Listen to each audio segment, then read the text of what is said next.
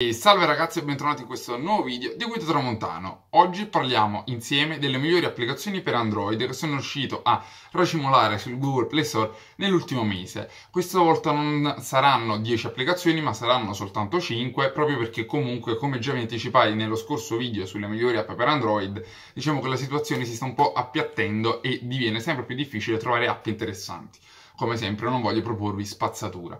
Quindi non perdiamoci in chiacchiere, partiamo subito con la prima applicazione per Android, queste 5 app sono tutte gratuite e le troverete linkate ovviamente, come al solito, qui in descrizione.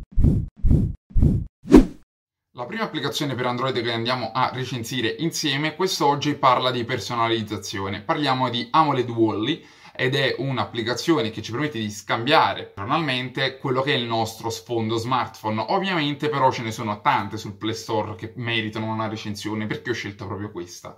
Ogni giorno esce praticamente uno smartphone nuovo, ormai non si sta più dietro all'avanzare tecnologico, ma la maggior parte di questi smartphone hanno uno schermo AMOLED. Come molti di voi sapranno, lo schermo AMOLED ha pixel scuro risulta essere completamente spento, quindi risparmiando di conseguenza notevoli quantità di batteria, soprattutto se usiamo molto il nostro smartphone Android.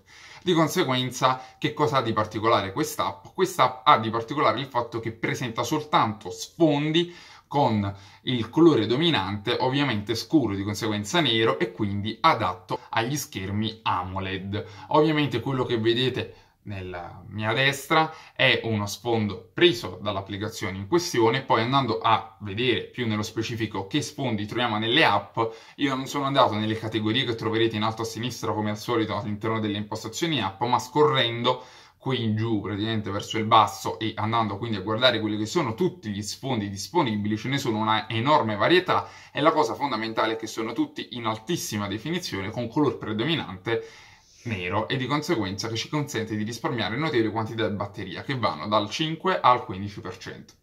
La seconda applicazione di cui andiamo a parlare adesso invece è un'applicazione di acquisti. È un'app che è uscita non molto tempo fa sul Play Store e che sta usando tantissimo il mio collega Andrea Galeazzi, che non conosco ma che mi piacerebbe conoscere.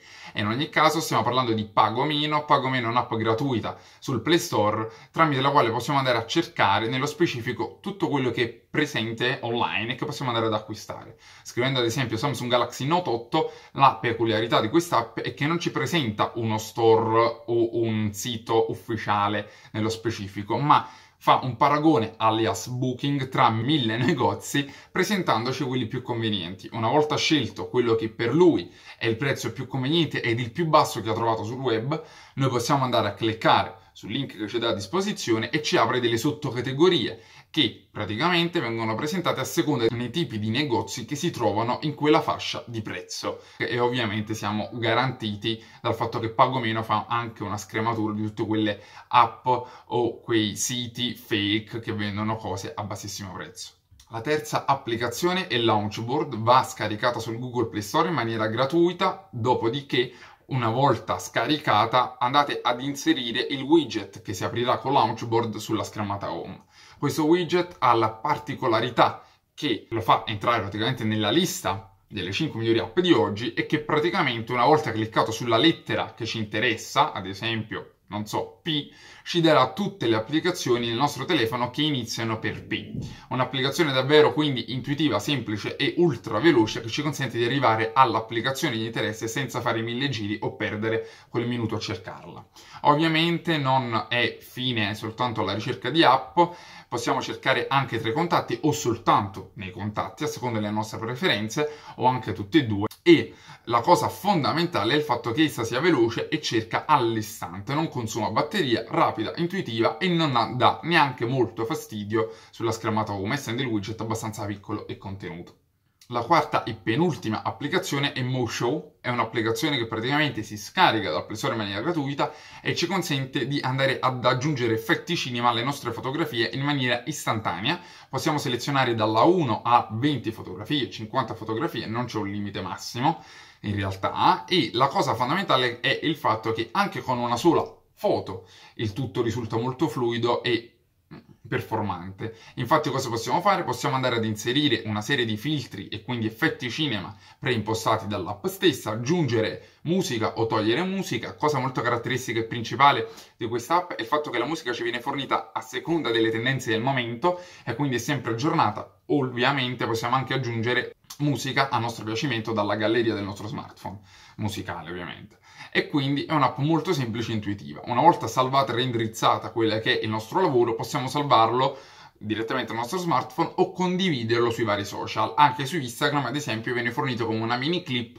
molto molto interessante.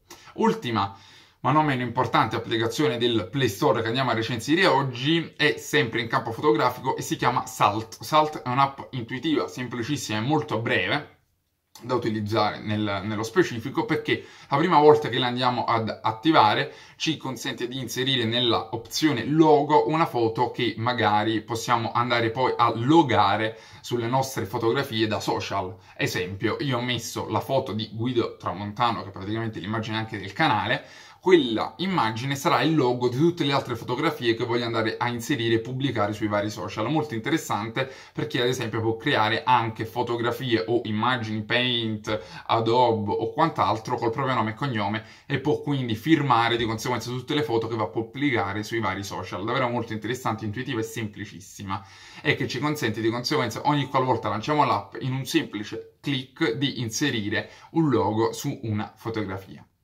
Bene ragazzi, anche il video di oggi è giunto al termine, spero che le applicazioni vi siano piaciute, molte di queste sono magari da utilizzare tutti i giorni, altre un po' meno, ma sono comunque utili e da tenere nel proprio smartphone. Spero che il video quindi vi sia piaciuto, lasciatemi un like se per l'appunto vi ha fatto piacere seguirmi e così facendo mi seguirete ancora, più ne siamo meglio è, questo ci tengo tantissimo a sottolinearlo e di conseguenza ragazzi ci vediamo in un prossimo video, ciao!